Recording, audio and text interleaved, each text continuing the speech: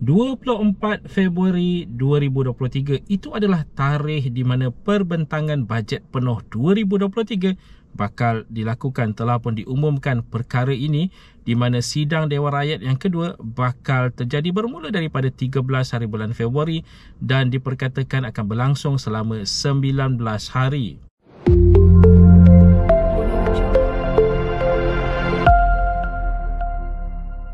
Assalamualaikum, salam sejahtera. Jumpa lagi di channel Heruan Ebi.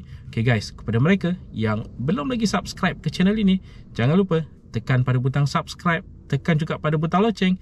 Thank you guys. Seperti yang kita ketahui baru-baru ini pada persidangan Dewan Rakyat yang pertama, Parlimen ke-15 telah pun diumumkan berkaitan dengan beberapa bantuan dalam bajet emolumen ataupun mini bajet yang telah pun dibentangkan oleh Perdana Menteri Malaysia yang ke-10 Datuk Seri Anwar Ibrahim. Selain daripada bantuan-bantuan yang telah pun disenaraikan, ada banyak lagi sebenarnya bantuan-bantuan lain yang belum diketahui lagi nasib mereka, terutama sekali yang telah pun diumumkan dilakukan dalam bajet 2023 perbentangan bulan 10 oleh kerajaan terdahulu. Jadi sekarang ini kita menantikan berkaitan dengan bajet penuh yang bakal dibentangkan bajet 2023 di mana telah pun dinyatakan bahawa tarikh sebenar perbentangan bajet penuh ini bakal dilakukan pada 24 hari bulan Februari 2023.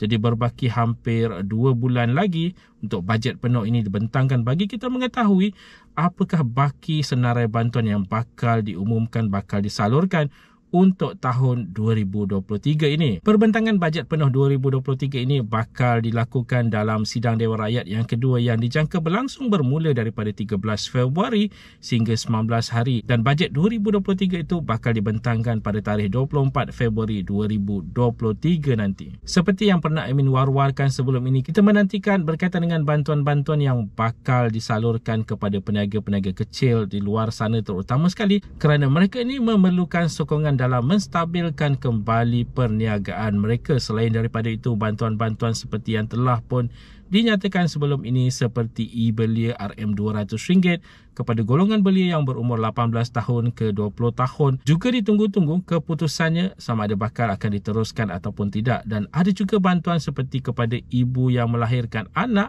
yang mana golongan B40 ibu yang melahirkan anak ini diberitahu sebelum ini bahawa akan ada pembayaran tunai RM500 kepada mereka bakal disalurkan.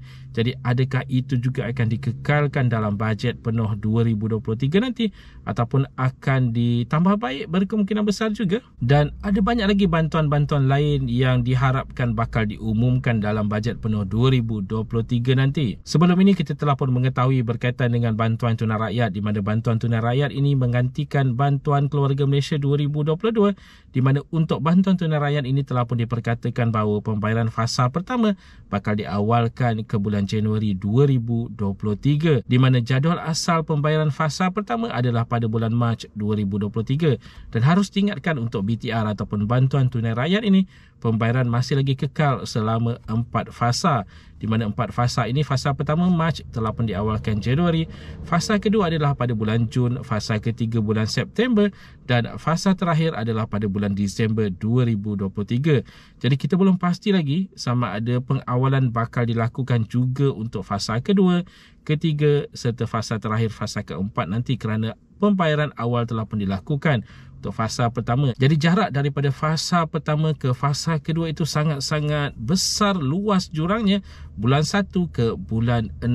Jadi diharap kerajaan bakal mempertimbangkan juga untuk pembayaran fasa kedua, ketiga dan keempat ini supaya diawalkan juga agar gap antara setiap fasa itu adalah tidak jauh agar tidak membebankan penerima-penerima bantuan tunai rakyat ini. Dan sudah semestinya lah nanti pada persidangan Dewan Rakyat yang kedua bermula daripada 13 Februari ini, kita harapkan agar ada usul berkaitan dengan KWSP 2.0 dibawa ke hadapan untuk diperdebatkan untuk diperbahaskan bagi mendapat kelulusan untuk pengeluaran KWSP 2.0 ini.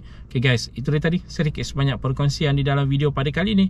Jika anda ada sebarang komen, sebarang pertanyaan, anda boleh tinggalkan di ruangan komen di bawah. Dan kepada mereka yang belum lagi subscribe ke channel ini, jangan lupa tekan pada butang subscribe, tekan juga pada butang loceng. InsyaAllah kita berjumpa lagi di video yang akan datang. Stay safe, stay healthy. Assalamualaikum. Thank you.